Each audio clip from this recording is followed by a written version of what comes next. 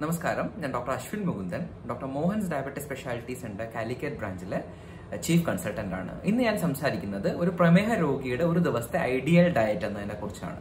നമുക്ക് പ്രഭാത ഭക്ഷണമായി ബ്രേക്ക്ഫാസ്റ്റിൽ നിന്നും തുടങ്ങാം.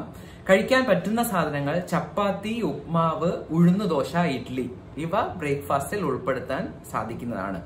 ഒഴിവാക്കേണ്ടുന്ന കാര്യങ്ങൾ പുട്ട് പത്തിരി അരിപ്പത്തിരി അരിദോശ അപ്പം മുതലായ അരിഭക്ഷണങ്ങൾ ഒഴിവാക്കാൻ ശ്രമിക്കുക. മൈദ കൊണ്ടുണ്ടാക്കിയ ബ്രെഡും കഴിക്കാതിരിക്കുന്നത് നല്ലത്.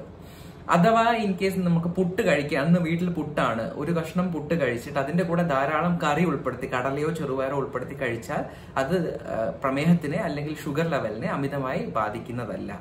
ചപ്പാത്തി ആയാലും ദോശ ആയാലും ഇഡ്ഡലി ആയാലും എണ്ണം പരിമിതപ്പെടുത്തുക.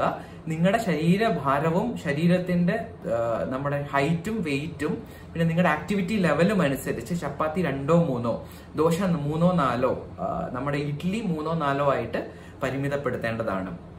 ഇത് കൂടാതെ ഒരു ഓരോ മൂന്ന് മണിക്കൂറും ഒരു പ്രമേഹ രോഗി ഭക്ഷണം കഴിക്കുന്നത് കുറച്ചുകൂടെ ഷുഗർ ലെവൽ നമുക്ക് കോൺസ്റ്റന്റ് ആയി ഒരു നോർമലായി നിലനിർത്താൻ സഹായിക്കും. അമിതമായ വിശപ്പ് വരാതെയും അമിതമായി കഴിക്കാനുള്ള വിശപ്പ് ഉണ്ടാക്കി പെട്ടെന്ന് ആർത്തിമുത്ത് നമ്മൾ ഒരുപാട് കഴിച്ചു പോകുന്നുണ്ട്.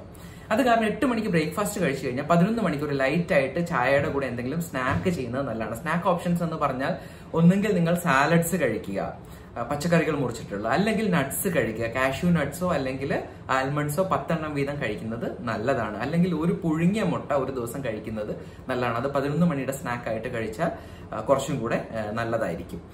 ഒരു മണി രണ്ട് മണിയാകുമ്പോൾ ലഞ്ച് കഴിക്കുക. ലഞ്ചിൽ നിങ്ങൾ ചോറ് കഴിക്കുന്നതിൽ തെറ്റില്ല. ചോറ് കഴിക്കുമ്പോൾ ചോറിന്റെ എമൗണ്ട് പരിമിതപ്പെടുത്തുക. ഒരു പ്ലേറ്റിൽ പകുതിയിൽ കുറവ് ചോറെടുത്ത് ധാരാളം പച്ചക്കറികൾ ധാരാളം സാലഡ് ഒരു കപ്പ് മോര് അതിന്റെ കൂടെ കറികളായിട്ട് മീൻ കറി കഴിക്കുന്നതിൽ കുഴപ്പമില്ല പൊരിച്ചതും കരിച്ചതും ഒഴിവാക്കാൻ ശ്രമിക്കുക.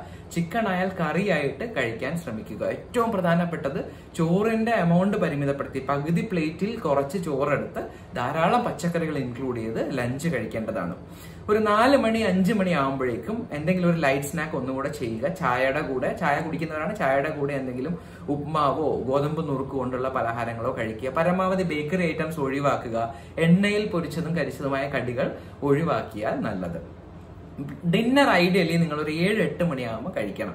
അതിലും അരിഭക്ഷണം ഒഴിവാക്കിയാൽ വളരെ നല്ല ചപ്പാത്തി ഗോതമ്പ് ദോശ ഉലുവക്കഞ്ഞി അങ്ങനെയുള്ള കാര്യങ്ങൾ ഉൾപ്പെടുത്തുക. ഹെവി ആയിട്ടുള്ള ഡിന്നർ പരമാവധി ഒഴിവാക്കുക. ഇത് നിങ്ങളുടെ ഫാസ്റ്റിംഗ് ഷുഗറിന് ഒരുപാട് മാറ്റങ്ങൾ ഉണ്ടാക്കും. ഈ ഒരു രീതി ശ്രമിച്ചു കഴിഞ്ഞാൽ എട്ട് മണിക്ക് ഡിന്നർ കഴിച്ച ഉറങ്ങുന്നതിന് മുന്നേ നമുക്ക് ചെറിയൊരു വിശപ്പ് അനുഭവപ്പെടും അല്ലെ?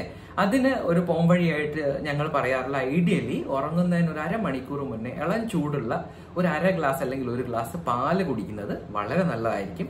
അല്ലെങ്കിൽ കാഷ്യൂ നട്ട്സ് രാവിലെ കഴിച്ചിട്ടില്ല ആൽമണ്ട്സ് രാവിലെ കഴിച്ചിട്ടില്ലെങ്കിൽ ഉറങ്ങുന്നതിന് മുന്നേ ഒരു പത്ത് കാഷ്യൂസ് അല്ലെങ്കിൽ പത്ത് ആൽമണ്ട്സ് കഴിച്ചാൽ നിങ്ങൾ ഒരു ദിവസത്തെ ഡയറ്റ് കംപ്ലീറ്റ് ആയി. ഇതാണ് ഒരു പ്രമേഹ രോഗിക്കുള്ള ഒരു ദിവസത്തെ ഐഡിയൽ ആയിട്ടുള്ള ഒരു കേരള ഡയറ്റ് നന്ദി.